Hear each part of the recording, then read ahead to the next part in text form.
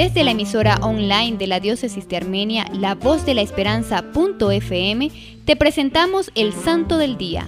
Conoce su historia y cómo su vida ha sido modelo de santidad.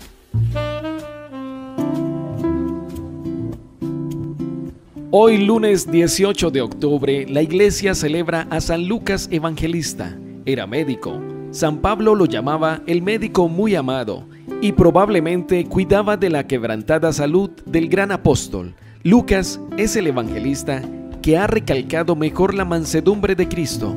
En el libro de los Hechos de los Apóstoles se convierte en el cronista del impulso de la iglesia inmediatamente después de Pentecostés. Su estilo literario entona un verdadero cántico de agradecimiento, lleno de gozo y optimismo.